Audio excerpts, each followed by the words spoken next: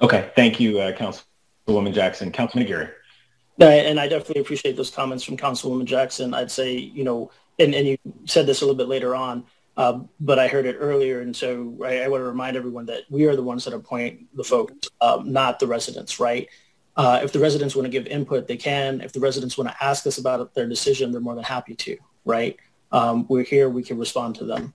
Um, the other thing too, in terms of education, well, if I had applied to BFAC and the Budget and Fiscal Affairs Advisory Committee, and I don't have an economic background, but I've been following the budget very closely, um, and my degree's in literature, um, but I still outreach to all the council members and show them that I was qualified to do this and that I had the capacity, then again, what does my education, if I have a degree in literature, have anything to do with budget and fiscal affairs?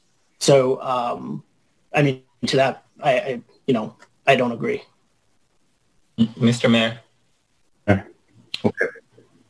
Mr. Seifeldein. Uh, thank you, Mr. Mayor. I think to just refocus us, the question here is not whether um, someone qualification should be taken into account. As Councilman Aguirre eloquently noted, that is a decision for the council to make.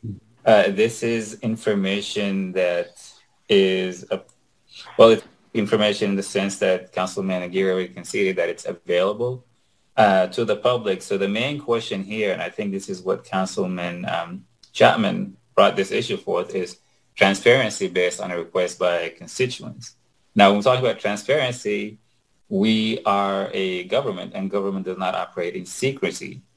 To put basic information such as someone's education or um, background as to employment or things like that are within the purview of the public interest in knowing who and what is applying. Uh, the decision is for council to make.